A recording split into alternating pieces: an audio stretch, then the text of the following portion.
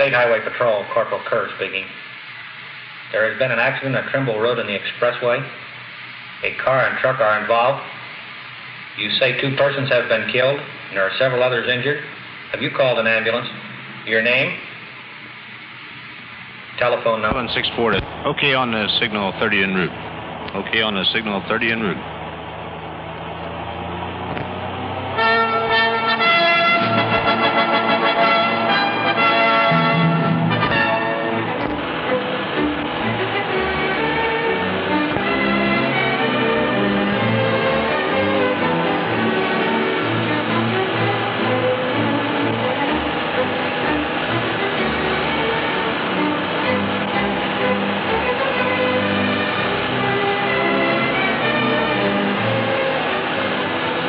Signal 30, the code that has a morbid meaning to the men of the Ohio State Highway Patrol. Signal 30 is the phrase that means another violent death on the highway, another life snatched by carelessness, another bloody statistic in the mounting toll of traffic's cost. Put yourself and your family in these untouched, unstaged scenes. You or a loved one of yours can easily be a Signal 30.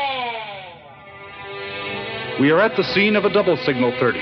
Two lives have been lost, wasted because of the senseless violation of a simple, easy to obey traffic regulation. A truck loaded with cattle is moving along an expressway. From a feeder road, a passenger car containing seven people, five of them children, ignores a stop sign, moves onto the expressway into the path of the truck.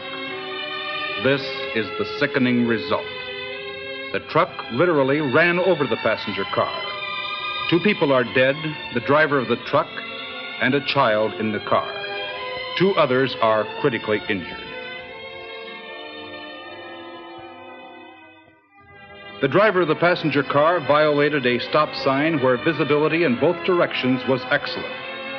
His own neglect and stupidity cost the life of his daughter and the life of a man who just happened to be in that place at that time. And here is the same area in which the twin fatality occurred.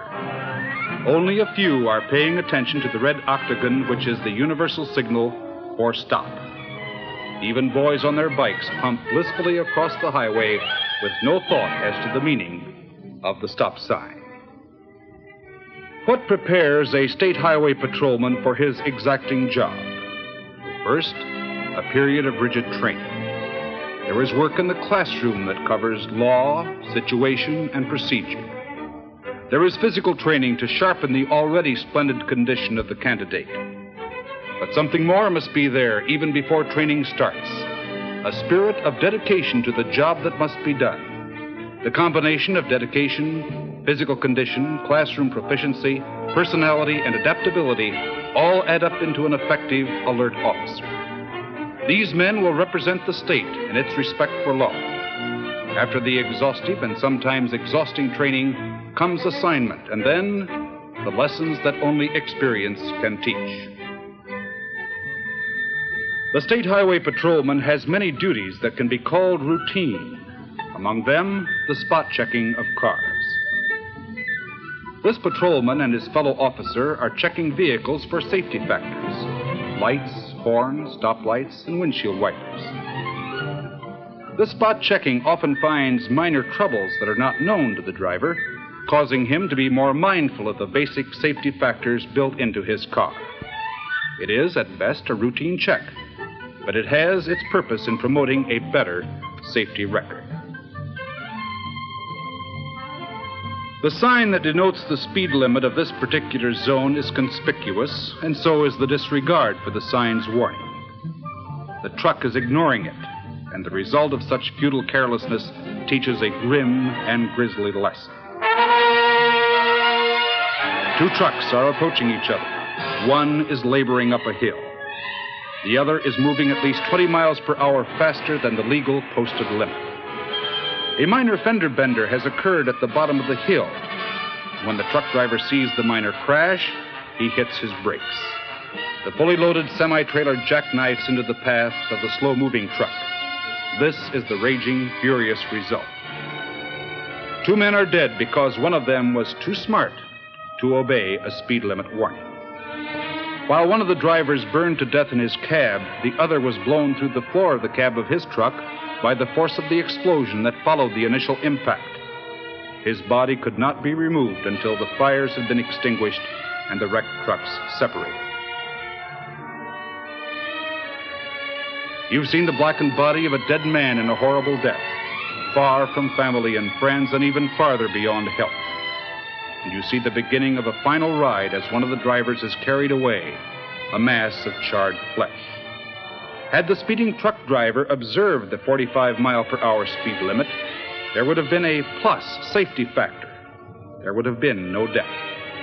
How many ifs dominate your driving habits?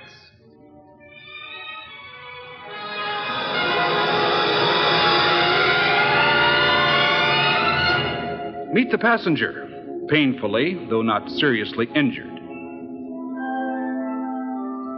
Now, meet the driver, bumped about considerably, but surprisingly helped. The driver of the car lost control of the vehicle.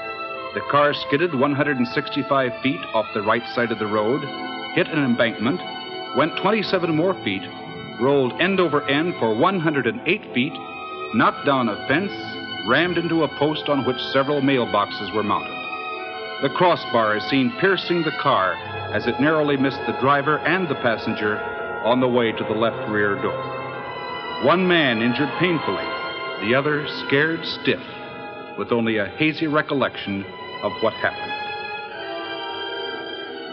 This is the result of driving carelessly, with only casual attention given to the important mechanics of driving.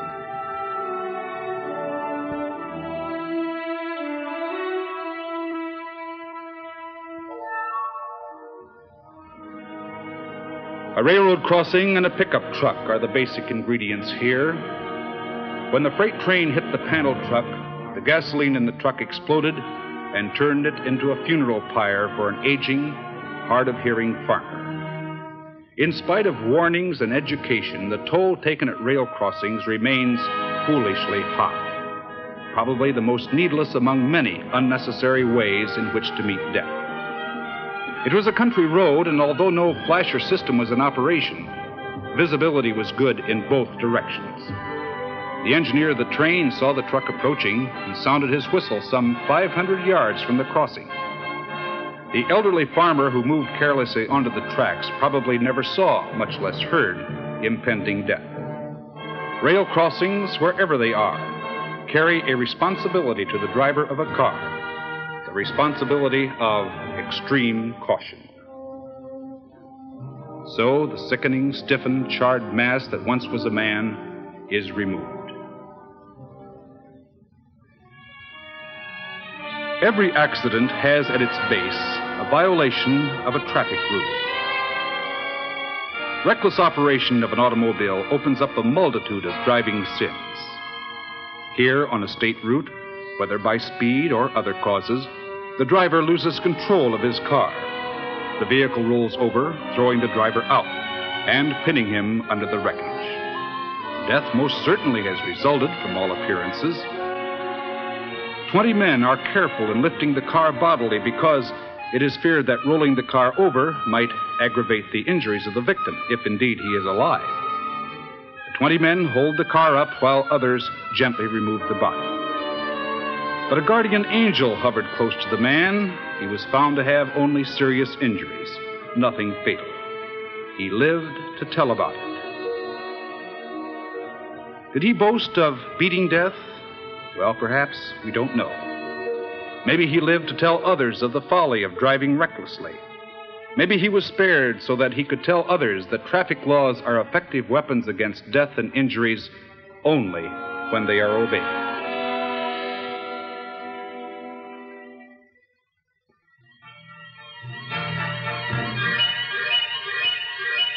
There's trouble ahead.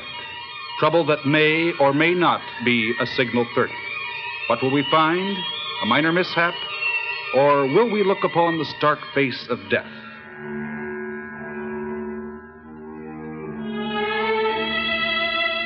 A 17 year old boy driving a red convertible comes over a hill crest and rams into a red hardtop that came out of a side road. Here is the young man, critically injured, and this is his car. And here is the ultimate big spender in this tragedy a visitor from a neighboring state. He has only a few hours to live as he sustains multiple injuries, any one of which would have been fatal. And this is the passenger in the dead man's car, painfully hurt because the driver of the car disregarded a common, easy to observe law. He had moved from a side road onto a main highway with no regard for oncoming traffic. The three or four seconds he tried to save cost him his life for his failure to yield the right of way. He is sprawled on the ground, already showing the pallor the doomed assume. Notice the care with which these torn victims are handled by the ambulance men and patrolmen. These men are using far more care in their work than the drivers of many cars show in their own driving habits.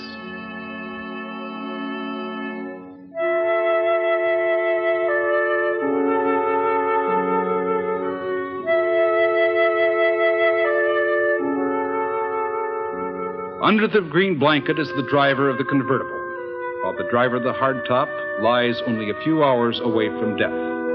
Another victim of the careless disregard of laws that were made not to restrict drivers, but to protect them. The man and his wife were in the area to attend her mother's funeral the next day. Thus, 14 hours before that sad ceremony, her husband met his death. The end of a trip to a funeral was simple in this case another funeral.